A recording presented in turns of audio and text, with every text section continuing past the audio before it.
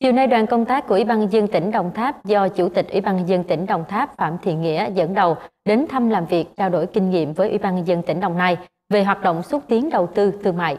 Tiếp và làm việc với đoàn có quyền Chủ tịch Ủy ban dân tỉnh Võ Tấn Đức cùng lãnh đạo các sở ngành trong tỉnh.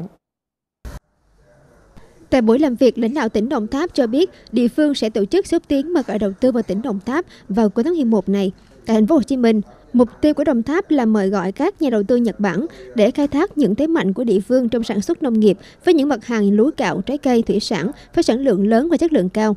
Ủy ban dân tỉnh Đồng Tháp đã giới thiệu tiềm năng thế mạnh của địa phương. Quyền Chủ tịch Ủy ban dân tỉnh Đồng Nai Võ Tấn Đức chia sẻ, Đồng Nai là một trong những địa phương dẫn đầu cả nước về thu hút đầu tư nước ngoài. Toàn tỉnh hiện có 33 khu công nghiệp được cấp phép thành lập với tổng diện tích đất hơn 10.500 ha, trong đó có 31 khu công nghiệp đi vào hoạt động, một khu công nghiệp trong giai đoạn đầu tư xây dựng hạ tầng và một khu công nghiệp mới được cấp phép thành lập vào tháng 7 2023. Đồng Nai đã thu hút trên 1.600 dự án FDI với số vốn có hiệu lực trên 34 tỷ đô la Mỹ, trong đó có 276 dự án đến từ Nhật Bản với số vốn đăng ký trên 5,2 tỷ đô la Mỹ, đứng thứ ba trong 46 quốc gia vùng lãnh thổ đầu tư vào Đồng Nai. Đây là dịp để hai tỉnh Đồng Nai và Đồng Tháp trao đổi kinh nghiệm về thu hút đầu tư, kết nối giao thương, phát triển công nghiệp thương mại.